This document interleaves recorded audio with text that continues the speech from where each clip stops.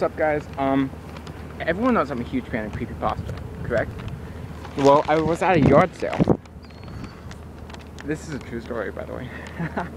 um, I was at a yard sale, and um, I was going through the movies and stuff, and something caught my eye. A game I've never heard of. Oh my! Oh god, fall. Um, a game I've never heard of, and she gave me it for a dollar in a paper bag.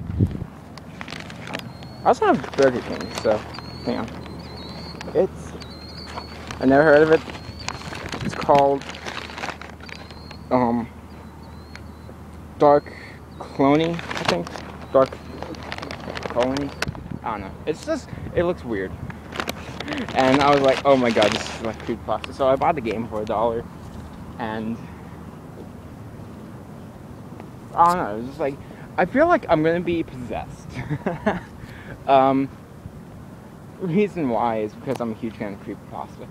Moving on from um, stories that are known, like Jeff to Slender to Ben, to the newer ones, what people make.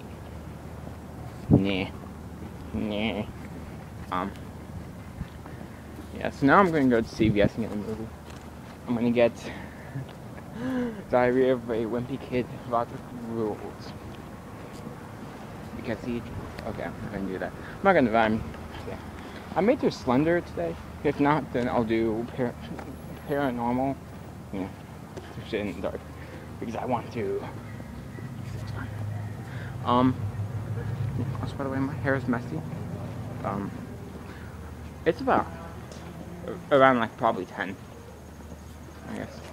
I'm not in school yet. Well, I actually am homeschooled, but I'm not in it yet. I had to get breakfast, which I did.